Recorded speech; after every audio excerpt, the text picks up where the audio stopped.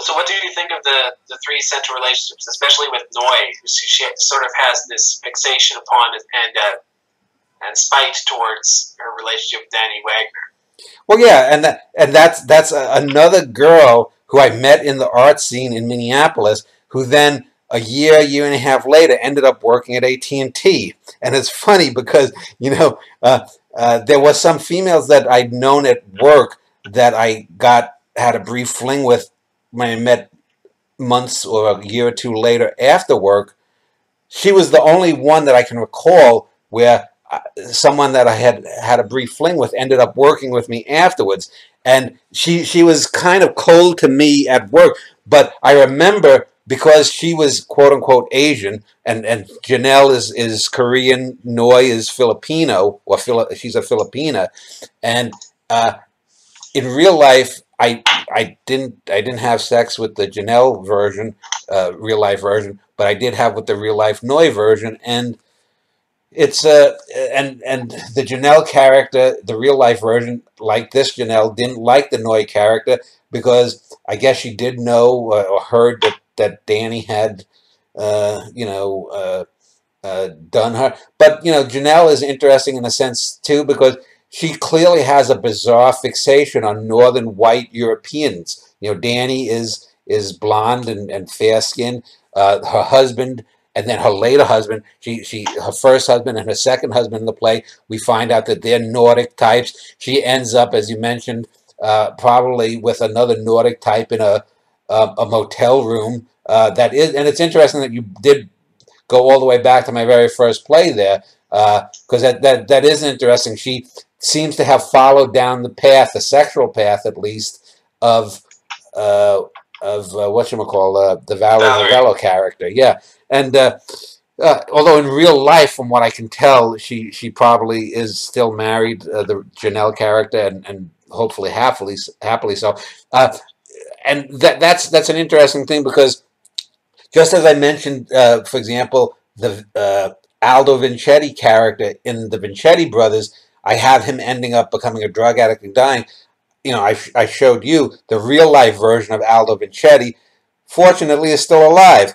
Uh, he apparently was injured in 9 11, but he's still alive. So uh, the Janelle, the, the real life version of Janelle seems to have ended up happier than my fictive Janelle version. But, you know, my fictive Janelle version needs to, uh, you know, have her comeuppance in a sense.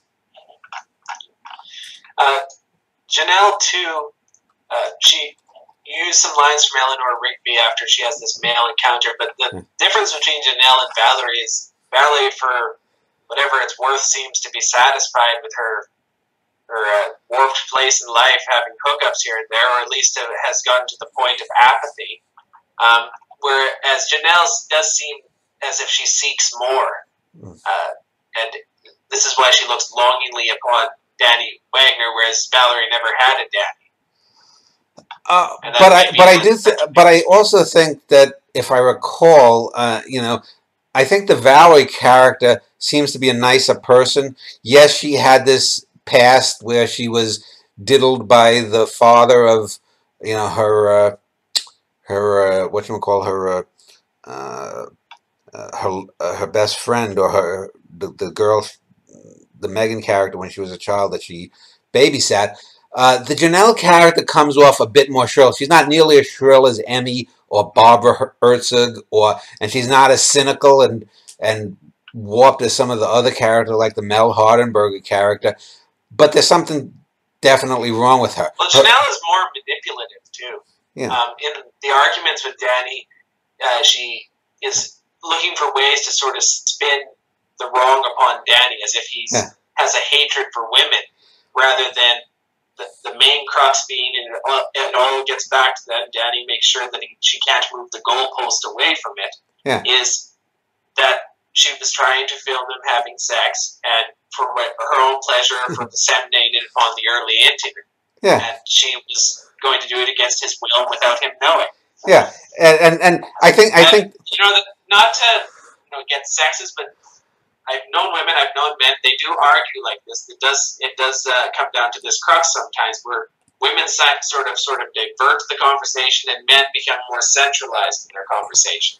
Yeah, well, and and but the point it's interesting too because this was written just a couple of months ago, uh, right at the tail end of the the Me Too thing of the late 2017, uh, and but it's a good example that shows. Uh, not that I really felt quote unquote victimized or whatnot, but Danny has an absolute right to feel like he was manipulated and, and tricked and whatnot. And she tries to get out of it by claiming because she's Korean that uh, that uh, Danny holds that against her. That because she has uh, fetishes, Danny is somehow bigoted against her for being a fetishist. That because you know maybe it's uh, her ex-husband or, or this. Uh, Janelle is, is trying to wheedle out of the fact she's blaming her actions on her ex-husband, on Danny, on on this, that, and the other thing. When Danny keeps saying no, it's because it's not because you have yellow skin. It's not because you you know a fetishist or whatnot. It's because you wanted to film me against my will without telling me. And and you know that it, it the, the interesting thing is this is again that's if, you wanted to talk about it, this play isn't about a sexual fetishist. It's not about the men versus women. It's a character study of there is something wrong with Janelle.